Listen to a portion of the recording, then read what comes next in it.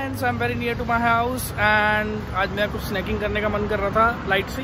तो मैं बिल्कुल अपने घर के पास एक जगह पे आया हूँ बहुत अच्छी जगह है। तो मैं आपको दिखाता हूँ तो आप लोग भी आ सकते हो यहाँ पर।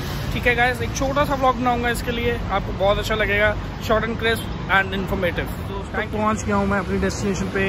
ये मेरे घर से एक किलोमीटर पे ही है। ये है फ़ूड बस ऑफ़ इंडिया बहुत ज़बरदस्त जगह है यार।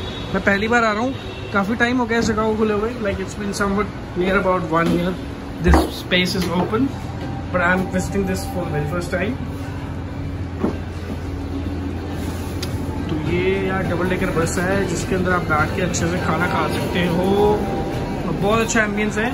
मेरे फ्रेंड्स एंड मेरी वाइफ वो ऑलरेडी ऊपर आके बैठ गए हैं and so it's a very nice place we have ordered something as well तो आप लोग अगर आए, अगर आसपास है राजेंद्र प्लेस मेट्रो स्टेशन के so this is the best ever place to eat बाकी आपको फ़ूड का एम्बियंस और टेस्ट बिल्कुल बहुत जल्दी बताएँगे।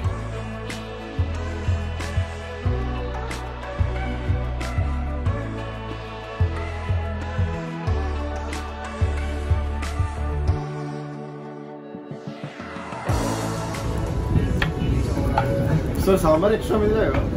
चार उससे एक्स्ट्रा मिल जाता है यहाँ पे नहीं एक तो extra sambar and kurkure momos as well. कैसा लगा खाना अच्छा क्वालिटी भी अच्छी है इडली की भी। फ़ूड क्वालिटी भी अच्छी है एंड टेस्ट तो अच्छा है ही। बड़ा पाव कैसा है? यमी चलो खाते हैं फिर आगे तक।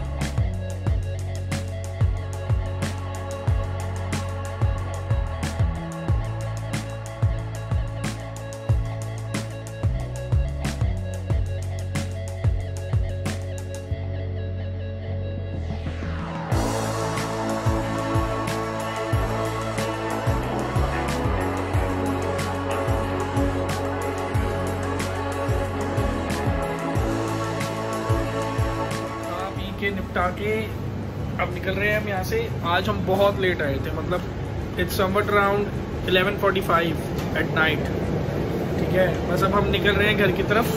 बिल्कुल घर पास में ही एक किलोमीटर है। और गाइस इनका ये हम फ़र्स्ट फ्लोर पे थे मतलब डबल डेकर बस बनाई हुई है इन्होंने। तो हाँ राइट राइट राइट और नीचे भी है, यानी आप नीचे वाले फ्लोर पे भी बैठ सकते हो, जैसे मैं नीचे आ गया हूँ स्टेज उतर के। तो गाइस कुछ लग्जरी दो तीन चार सीटें यहाँ पे भी हैं। आप यहाँ भी बैठ सकते हो ऑर्डर कर सकते हो और बाहर का व्यू इंजॉय कर सकते हो।